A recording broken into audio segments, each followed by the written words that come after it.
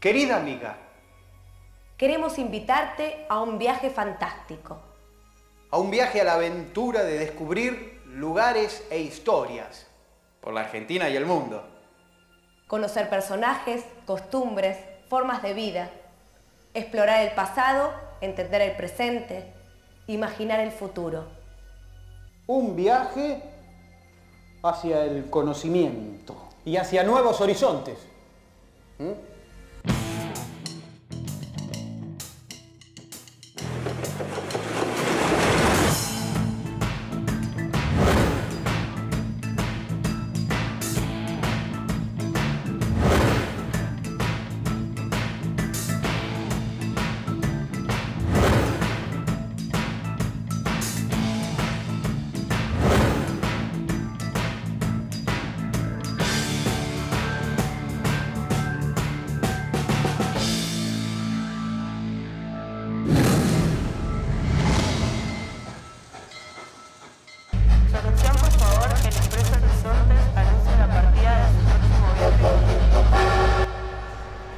Tomás, ¿qué estás haciendo? Aquí me ves iniciándome como artista plástico.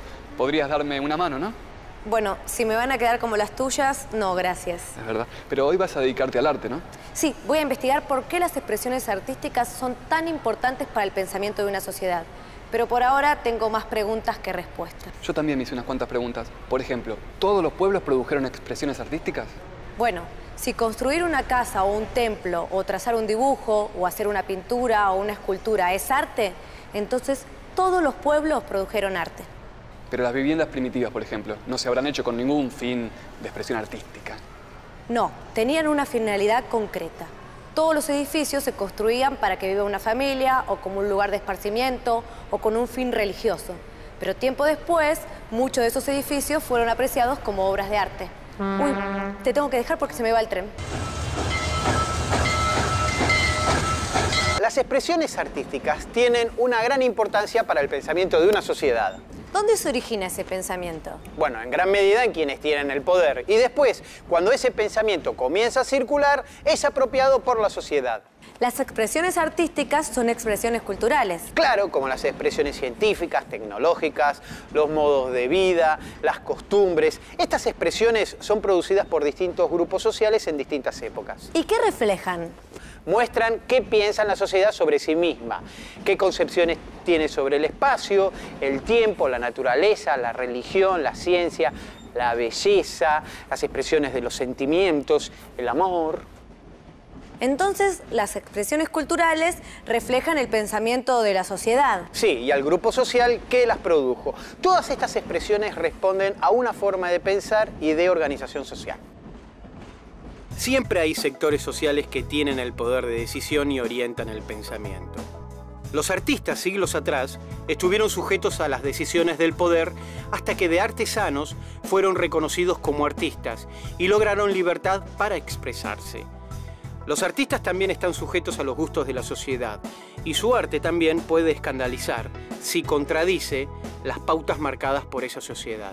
En el pasado la pintura, la escultura, la arquitectura no eran concebidas como arte, sino que tenían una utilidad. Por eso, descubrir los fines a los que sirvió nos facilita comprender el arte de otros tiempos, además de disfrutarlo.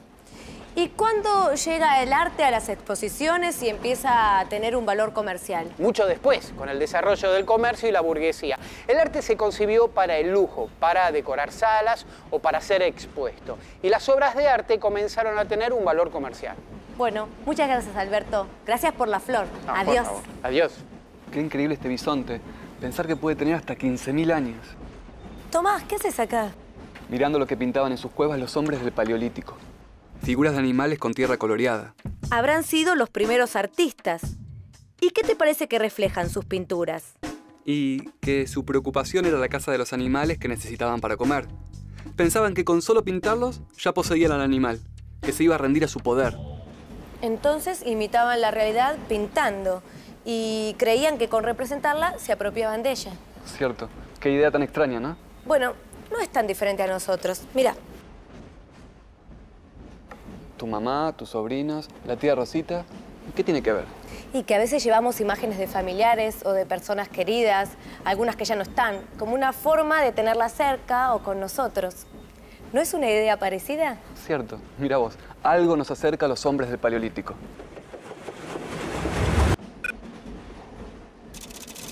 Quería hacerle algunas preguntas. Estoy investigando sobre las expresiones artísticas a través del tiempo. Bueno, ¿cómo no? Leí que a partir del siglo V, la cultura antigua y el cristianismo producen una ruptura, una expresión cultural diferente.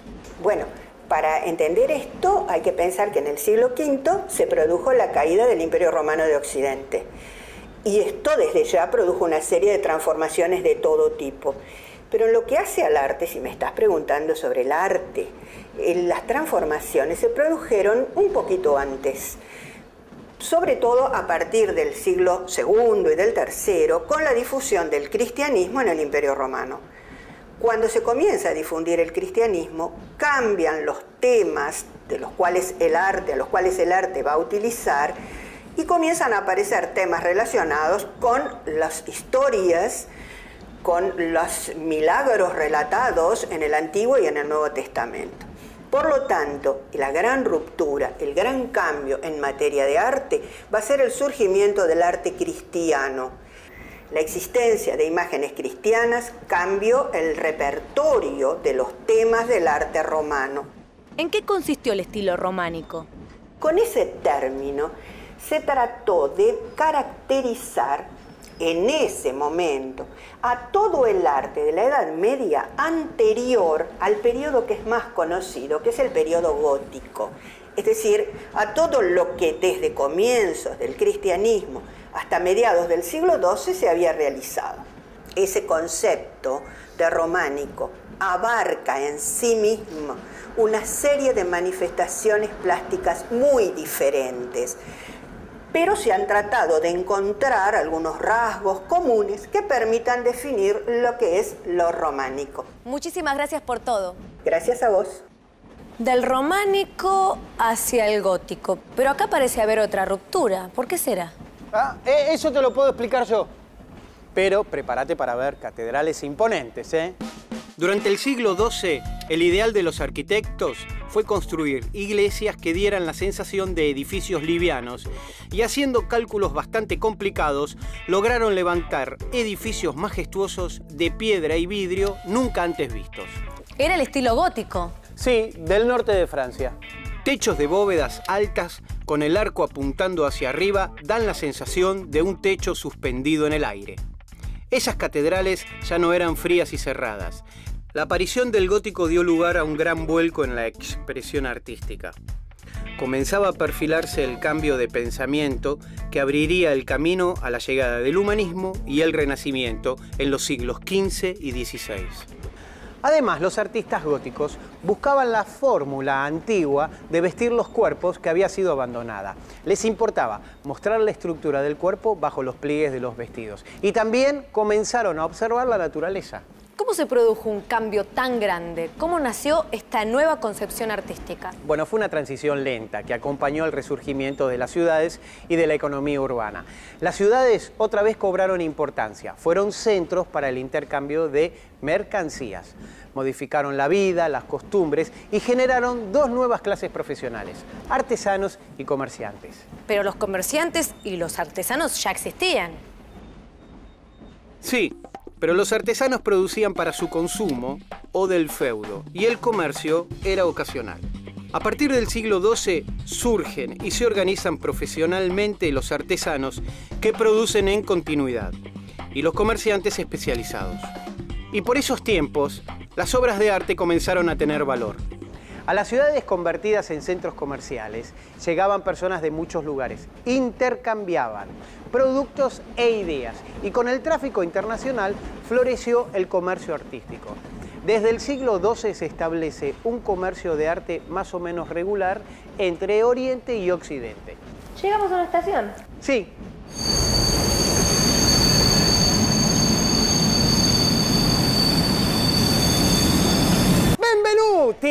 bienvenidos a la muestra del gran florentino Giotto di Bondone, un revolucionario de la pintura.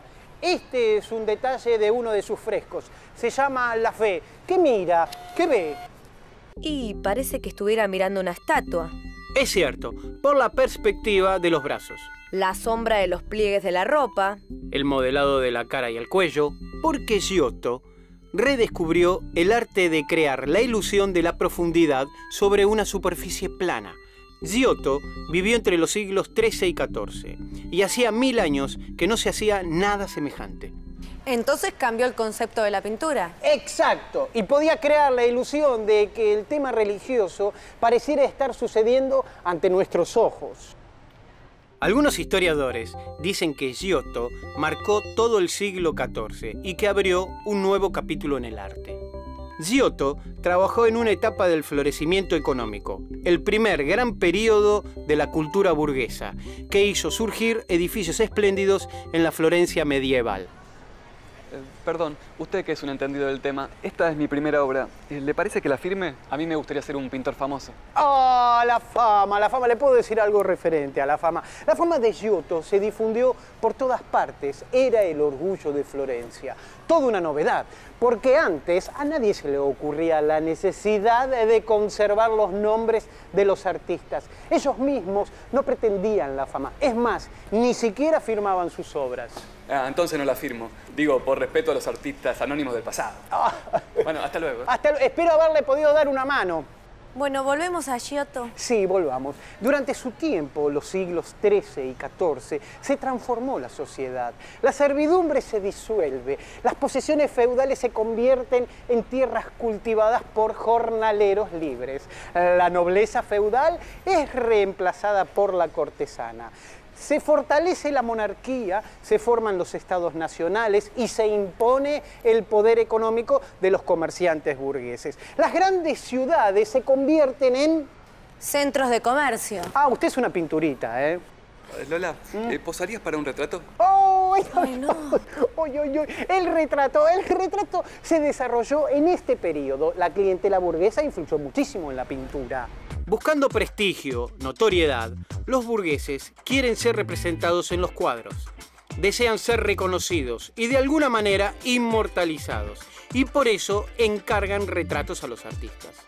Las formas del arte eclesiástico y cortesano iban desapareciendo. La pintura se independiza de la arquitectura por medio de la tabla y pasa a adornar la vivienda burguesa.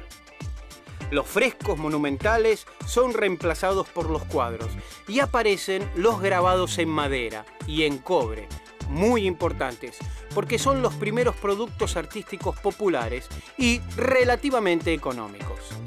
Ya no les bastaba con pintar flores y animales. Ahora querían explorar las leyes de la visión y lograr el suficiente conocimiento del cuerpo humano para plasmarlo en sus pinturas y estatuas como lo habían hecho los griegos.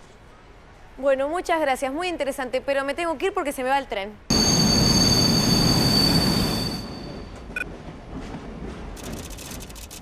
Aspectos marcaron el fin de las expresiones artísticas medievales? y tomando en cuenta aquellos cambios que tuvieron un efecto más directo sobre el arte, vamos a considerar que en los últimos siglos de la Edad Media, y acá estamos hablando del siglo XIII en adelante, hay cambios en las formas de pensamiento. Hay una, una transformación que está producida por el conocimiento que los intelectuales de la época tienen de la obra de un enorme filósofo de la antigüedad, del cual se había conocido muy poco a lo largo de los siglos medievales y que es Aristóteles.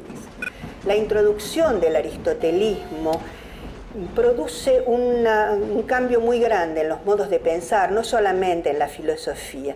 Tengamos en cuenta que a partir de la introducción del aristotelismo se pone mucho más el acento en el conocimiento de la realidad, en el conocimiento de la experiencia y por lo tanto en lo que hace al arte va a haber una visión mucho más naturalista, que es aquella que se pone de manifiesto en las imágenes del gótico.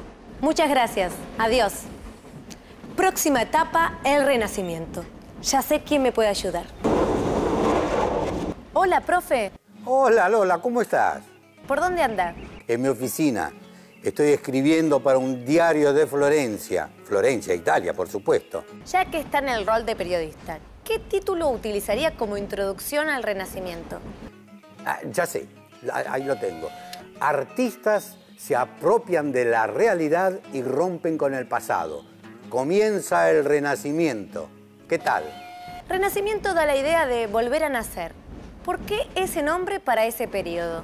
Parece que un pintor italiano, Vasari, utilizó el término renacimiento refiriéndose al renovado interés por todo lo relacionado a la civilización clásica griega y romana.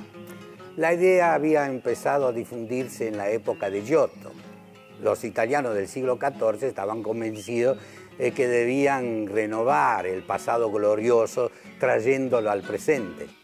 Quizá por eso las innovaciones comenzaron en Italia, especialmente en Florencia, cuna de la burguesía triunfante. ¿Esas innovaciones tuvieron algún líder, algún referente? Al comienzo del siglo XV en Florencia, un grupo de artistas se puso a crear un arte nuevo rompiendo con el pasado. Y el líder fue un arquitecto, Filippo Brunelleschi. Ah, Brunelleschi. Sí, escuché hablar de él. Aquí a través de mi computadora puedo ver una de sus grandes maravillas, la famosa cúpula de la Catedral de Florencia. ¿Fue muy influyente Brunelleschi? Por supuesto. Creó un modelo de construcción que fue seguido por los arquitectos de Europa y de América durante casi 500 años. Pero hubo otra contribución fundamental de Brunelleschi. ¿La perspectiva? Sí, claro, la perspectiva. Vamos a hacer una prueba. Mira, eh, toma en tus manos cualquier objeto y alejalo y acercalo hacia tus ojos. Listo. ¿Qué notas? Y que al alejarse el objeto disminuye su tamaño. Muy bien. Brunelleschi proporcionó los cálculos matemáticos para que los artistas pudieran representar con exactitud esos objetos. Eh, bueno, Lola, te tengo que dejar. Qué lástima. Quería entrar en la modernidad, en el renacimiento pleno. Con tu espíritu de aventura podrías haber vivido en el siglo XV. Bueno, chao, Lola. Chao, profe. Muchas gracias. ¿Qué me habrá querido decir? ¿Qué tiene que ver mi espíritu aventurero con el siglo XV y el Renacimiento? Quizás estos libros te puedan dar alguna pista. A ver. Las exploraciones ultramarinas del siglo XV. La astronomía de Copérnico. Esto me intriga cada vez más. En la segunda mitad del siglo XV, en Europa, había un gran espíritu de aventura. Se sucedían los largos viajes comerciales hacia Oriente y exploraciones marítimas buscando nuevas rutas y riquezas, utilizando las innovaciones en la navegación, la cartografía, la medición del tiempo. La llegada a América habrá sido un hecho clave. Exacto, un continente desconocido para los europeos. Por entonces, la imprenta, al permitir la circulación de libros, difundía los conocimientos sobre matemáticas y astronomía de Copérnico y después de Kepler y Galileo, que planteaban que la Tierra y los astros giraban alrededor del Sol. Los pensadores humanistas desafiaban las teorías establecidas planteando nuevas formas de concebir el mundo y también al hombre. ¿Y los artistas? Mira, La segunda generación del Renacimiento, la que siguió a Brunelleschi y a artistas como Donatello y Masaccio, trató de usar los descubrimientos de estos. Al intentar hacer del cuadro un espejo de la realidad, se encontraron con un problema. Cómo distribuir las figuras que en la realidad no se agrupan armónicamente. Uno de los artistas que se ocupó de resolver el problema fue Sandro Botticelli. La Venus de Botticelli es tan hermosa que seguramente nos hace pasar por alto algunas libertades que se tomó el artista. El tamaño antinatural del cuello, la caída pronunciada de los hombros o la forma extraña en la que cuelga el brazo izquierdo. De Giotto a Botticelli hubo un cambio gradual en la expresión artística, como en la sociedad y sus crisis, que originaron el fin de la sociedad feudal. Acá dice que hay un libro que se llama Los Intratables. ¿A quiénes se refieren? A los dos grandes artistas desde el principio del siglo XVI. Ah, me imagino, Leonardo da Vinci y Miguel Ángel. Exacto. Intratables, esquivos, inabordables. Así llama un historiador a Leonardo y a Miguel Ángel. ¿Y se puede saber por qué? En ese momento los artistas ya eran libres, tenían gran prestigio y producían para la venta. Como muchas ciudades rivalizaban para conseguir los servicios de los grandes maestros, estos imponían sus condiciones. Ya no necesitaban acomodar sus obras a lo que le pidieron los clientes.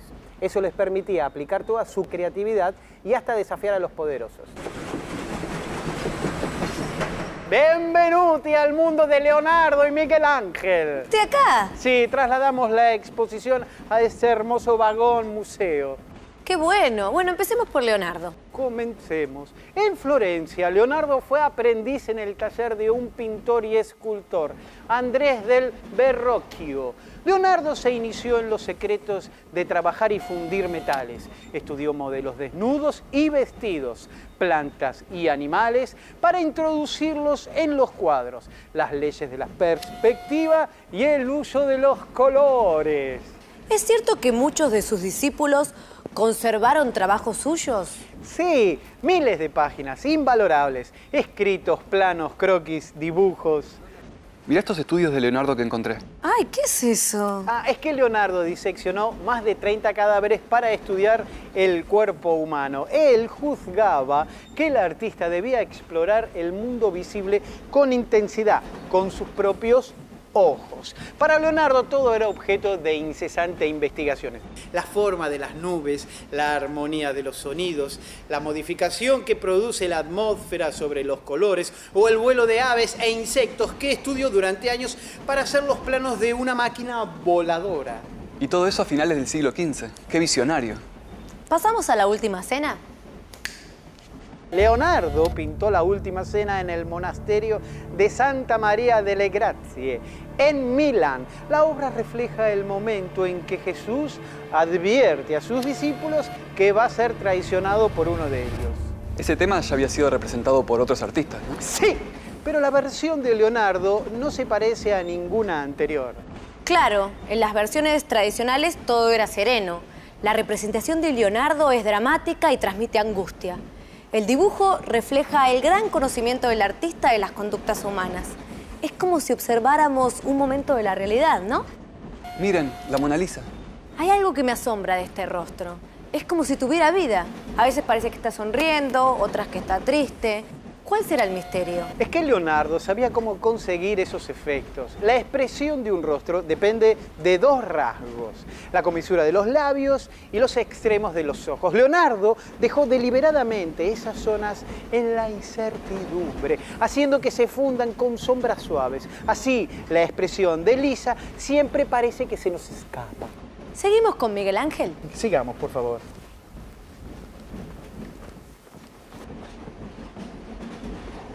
Ah, Miguel Angelo Bonarotti. Miguel Ángel. Solo 13 años tenía cuando comenzó su aprendizaje con uno de los grandes maestros de Florencia. También estudió solo a los maestros del pasado, Giotto, Masaccio, Donatello y a los escultores griegos y romanos. Igual que Leonardo, investigó anatomía, diseccionó cuerpos y dibujó la figura humana. Estas son imágenes de la capilla sextina, ¿no? ¿Cómo la pintó? Después de sus choques con el Papa Julio II, volvió a Roma y este le encargó que pintara la bóveda de la capilla. Miguel Ángel se encerró en la capilla y trabajó durante cuatro años de espaldas sobre los andamios para pintar mirando arriba. Uf, qué incomodidad. ¿Es muy amplio el espacio que cubrió Miguel Ángel en la bóveda? 39 metros de largo por 13 de ancho. En esa área distribuyó las escenas de la creación del mundo. Podemos ver a Dios haciendo surgir las plantas, los cuerpos celestes, la vida animal, al hombre y a unos 20 jóvenes en los que desplegó todo su conocimiento para el dibujo del cuerpo humano. Según un gran historiador del arte, la representación que muchos tenemos de Dios en nuestra mente se formó a partir de las imágenes creadas por Miguel Ángel, que fueron pasando de generación en generación. ¿Y qué otro gran artista hubo en ese periodo? Por favor, continuemos.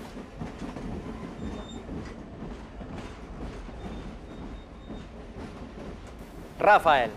Rafael Sanzio.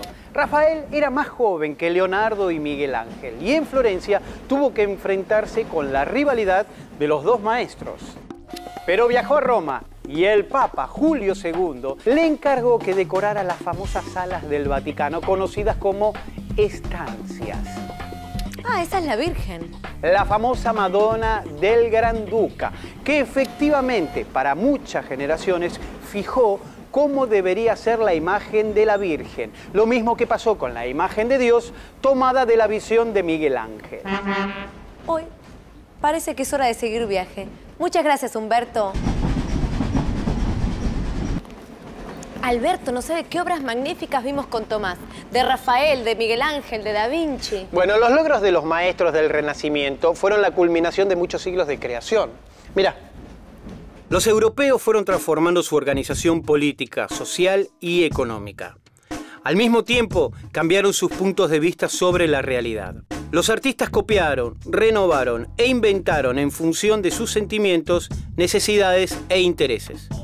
Hoy recorriste sus obras, desde las expresiones del cristianismo y de la etapa que los historiadores llaman la iglesia militante, con sus catedrales. Sí, desde que el cristianismo se extendió por toda Europa, todas las expresiones artísticas estuvieron marcadas por este pensamiento. Sí, hasta que con el resurgimiento de las ciudades y el comercio, la vida urbana y el contacto entre pueblos cambiaron la forma de ver la vida diaria y pusieron en tela de juicio el poder de la iglesia. Y los cambios se reflejaron en las expresiones artísticas. Pero la sociedad no dejó de ser religiosa. Predominó el pensamiento laico y los artistas expresaron la religiosidad en forma renovada, pero también representaron a las personas y su vida diaria, las costumbres, la naturaleza, los animales, por ejemplo.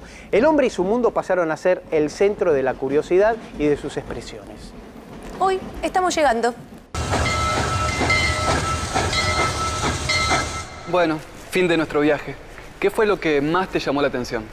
Y, en general, cómo las expresiones de los artistas fueron reflejando el pensamiento de su tiempo y cómo el arte puede mostrar qué es lo bello o qué rostro puede tener Dios, como la obra de Miguel Ángel. O como la Virgen en el cuadro de Rafael. O fijar una imagen como la de la última cena, como logró Leonardo. ¿Qué haces? ¿Tenés sueño? No, estaba pensando que así acostado como Miguel Ángel podría pintar las nubes como Leonardo.